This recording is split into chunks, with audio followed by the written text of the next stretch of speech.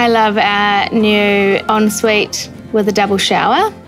I'm loving all the uh, technology in the house, like the Wi-Fi lock, so you can unlock the house from wherever.